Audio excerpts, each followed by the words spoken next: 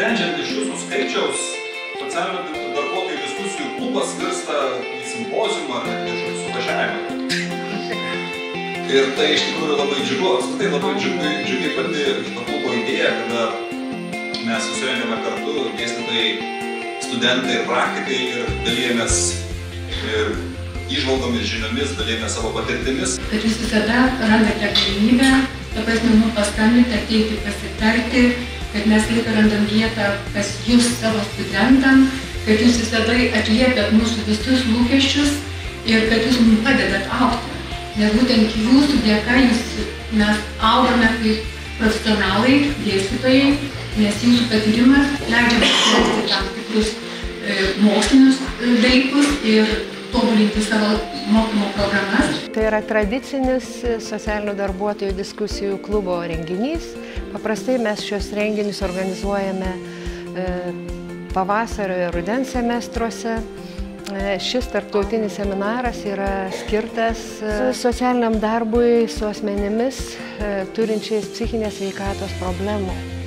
Labai džiaugiamės, kad šiandien mūsų seminare kalbės sveikatos mokslų fakulteto docentė daktarė Juratė Sučilaitė. Galvoju, kad paskutiniu metu mūsų tas gyvenimas yra labai labai fragmentiškas. Mes nebejau, dažnai nebepriepiame gyvenimo visumos ir tai turbūt yra viena iš tų priežasčių, dėl ko mes tampame dirglus, įsitempę. Dar vienas dalykas, nėra vien psichikos ir vien kūno lygų. Ir kuo dažniau mes turėtum prisiminti ir šitą ryšį.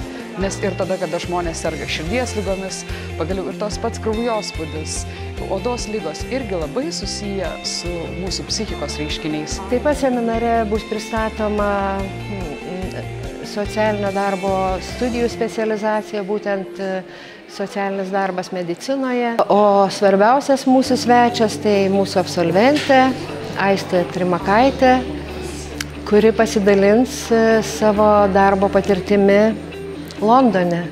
Labai džiaugiuosi iš tikrųjų tokią sutiktą galimybę, kad galėjau atvykti į Lietuvą, būtent į Klaipados universitetą ir pasidalinti savo patirtimi įgytą Junktinėje karalystėje, kiek konkrečiau tai Londone, būtent dirbant su nepakaltinamais asmenimis, tai yra asmenimis turinčiais psichikos sveikatos sutrikimų. Tikiuosi iš tikrųjų, kad visi pasidžiaugs ir pasimėgau šią konferenciją ir įgys iš tikrųjų kažkiek galbūt naujų žinių ir įgūdžių ir galbūt iš tikrųjų galės kažką atrasti naujų idėjų, kurias galės pritaikyti ir čia Lietuvoje. Mes jaučiamės nesaugiai prieš gyvenimą, kuris yra labai matas. Niekada negrįžta ta pati situacija, kad žinotum, kaip pasielgti. Taip kaip yra daug tokio emocinių, tokių liūdnų dalykų, kad atrodo nepakeli, nepriveiki, bet mokomės ir turim išmokti pasielgti taip, kad tas žmogus jaustų, kad mes rūpinamės jais, mūsų šilumą jaustų, tačiau būtų aišku, kad mes ne dievai, kad mes galim tiek, kiek galim, kad visada esam pasiruošę. Ir tas toksai nelankytų mūsų beviltiškumo jausmas, kad jis nieko čia neapverčia, nes labai daug padaro. Labai džiaugiuosi ir dėkoju organizatoriams, dekanijai, Indrei Gereniai docentai, Altui Rimkui, Astai Kilnytai, kurie nu, ne pirmi metai dirba labai sunku darbą čia Klaipėdos universitete, mobilizuodami socialinius darbuotojus, nes suprantame jūsų tą nudeną, kad ji nėra lengva.